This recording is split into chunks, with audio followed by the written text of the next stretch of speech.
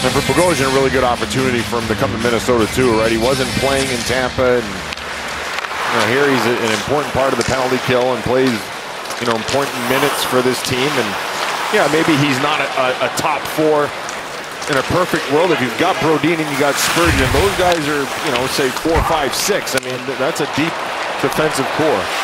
And Hartman were going at it.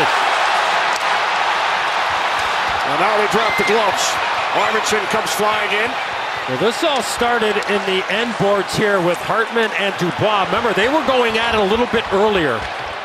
And Hartman was looking for Dubois, and Dubois give Hartman a shot, and then Hartman give him a shot, and then Hartman skated up the ice with him and just said, okay, you want to go? And there was no answer, and then Hartman got so the why, in. Why, why is Dubois going after Faber at that point? If you're not going to fight, why are you going to go after Faber?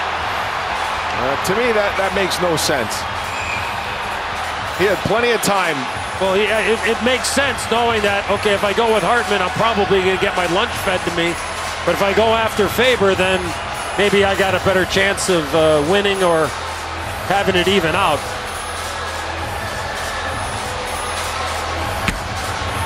Hartman has been let off down the Minnesota runway. Middleton to the box. There goes Dubois. I, I, don't know how Dubois got free, though, with the linesmen that were there, Bush, because they separated them, and then Hartman was being escorted to the penalty box, and then Dubois started skating away and went into the uh, into the pile. Let's take a look at how it all started. In behind here, Push. Cross check right there. Okay, no problem. Another cross check, no problem. Hartman says you want to go. And there's no response. And then Hartman starts punching in. Arvidsson jumps in. Everybody jumps in. So they end up getting separated. There's Dubois. That's the referee. Excuse me. It was not the linesman.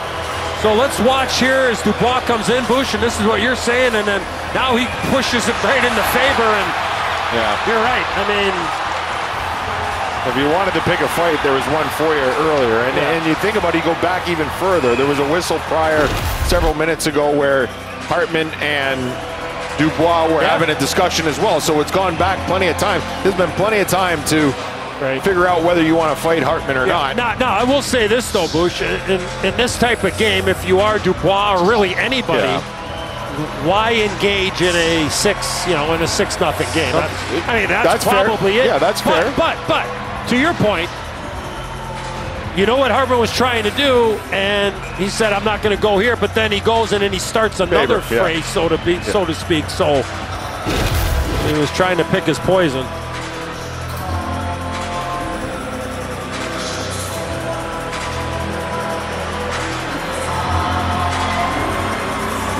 Yeah, now look, I, I don't think he was looking to pick a fight with Faber, but he, you know, in a lot of ways, he was Oh, it, it's a, hey. to me, it, it's it's kind of a you're, ask, a, a you're punk, asking for it. If you it's do a it. punk move. I mean, you, you, go by him to give it a shove when you had a couple of opportunities with Hartman.